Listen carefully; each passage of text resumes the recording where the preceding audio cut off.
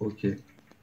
Donc là, il faut que et le programme affichera chaque élément avec deux chiffres après la virgule.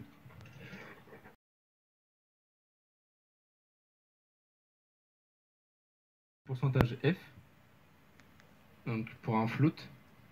Et en fait, le point 2, ça veut dire que tu prends deux chiffres après la virgule. Ok. Voilà. Après, si tu mettais point 3, par exemple, trois chiffres. Voilà. Et du coup, pour revenir, pour essayer de la saisie, c'est ici la valeur que vous voulez mettre. Alors, en fait, là, tu vas avoir un petit problème.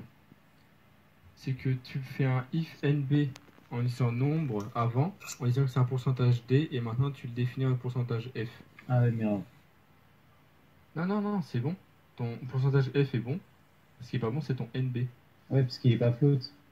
Voilà. Et de toute façon, tu peux pas réutiliser le même. Parce qu'il y en a un, c'est ton, euh, ton indice de ton tableau. Et l'autre, c'est la valeur qu'aura l'indice dans ton tableau.